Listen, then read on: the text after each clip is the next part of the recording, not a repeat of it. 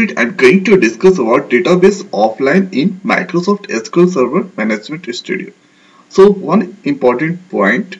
So why do we need database offline? So at here this is the important point. Suppose application is getting upgraded of front end application. And here disabling database during the upgrade not the great idea. So simply we make uh, our database offline so after uh, making offline so, so you cannot do any update or any or thing like renaming or any modification you cannot do. So that's why we can or we should make database offline. So how do we make so anything in Microsoft SQL Server so we can do by two ways. First is graphically and second by query.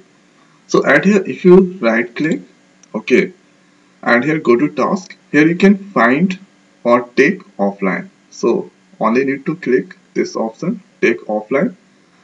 And here it's a success. One total and one success. Now here after creation click on close.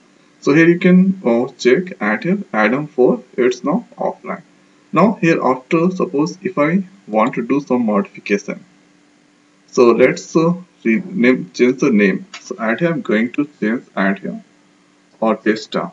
Okay now so if i try to paste enter at here i'm getting the message. Database adam 4 cannot be opened because it is offline. So this type of modification we cannot do. Now suppose if i try to or do something like uh, at here let's try to click on plus option so at here we cannot uh, click on the plus option. I click but at here it's nothing it's opening like normal database so we cannot see at here views tables synonyms and other things. So at here the database Adam is not accessible. So if you make that offline so after that we cannot open. So see at here when I click on plus on normal database after that we can check at here or table and here we can create the tables. So we cannot do with the offline database.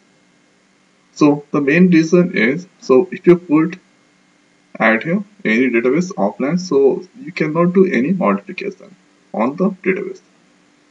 So add here so making a database offline right click after that task and here after you can make that offline. So if you want to make my query so add here alternate database here. So you can first you can write at here state offline and state online. So add here alternate database here you can write the database name. So i'm going to use add here adam 4 adam 4 now let's make that online. Online.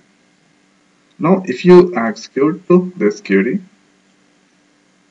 so add here command completed successfully. Now if you refresh the database, so database refresh. So after that it's now this is add here it's or come online. Now hereafter you can write you can do any modification on the database creating query updating uh, tables like anything you can do now if you want to make that uh, Adam 4 again offline. Simply you have to write at here offline.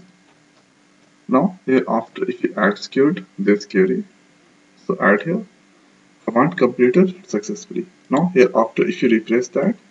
So again it's now it become offline.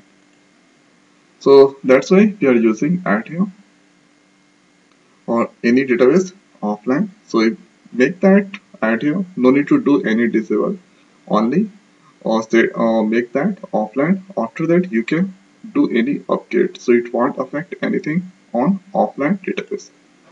Now here after the next thing is so reading the SQL server log files using tsql so if you execute this query so execute a store procedure. Now here make that bigger. Now here after if you press if you scroll down here you can find a checkbox for database Adam 4 uh, finished with and here you can read this message. So this is information add here all uh, details about uh, add here is SPID 54 and here you can find. Now here after if you not check add here offline database simply you have to execute this restore procedure. So add here database here you can find or uh, at this times at here 14 6 2019 and here the time is 38 so it's now 43 and here this is second and nanosecond. So SPID set database offline to on for database Adam 4 so I just did modification on Adam 4 so that here I'm getting this kind of information log date and here this time I did modification on offline and hereafter online on the database. So here by using this query we can check that. And here database taken offline. So which database has taken offline? So it's a discrete so add here this is to older this or twos are older. Suppose if I do add here making that uh, online so add here bring database online. Sorry. so add here Adam is compressed but does not reside read only. So this database is the read only. The file must be decompressed could not uh, restart database. So add here this is add here read only. So simply we cannot make it online. So this is the one important point. Now here after retrieve file list of SQL Server database which is offline so I'm going to make a student database offline task hereafter take plan.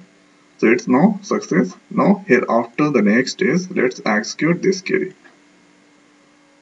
So add here now execute. So add here a student database id 11 so add here this the owner id source. It's all displaying now here you can find collation and many more things. So this is the all detail now here after since I have given the start so first that uh, select all these things from the system database and here this is the inner join so matching with sys database and sys master files.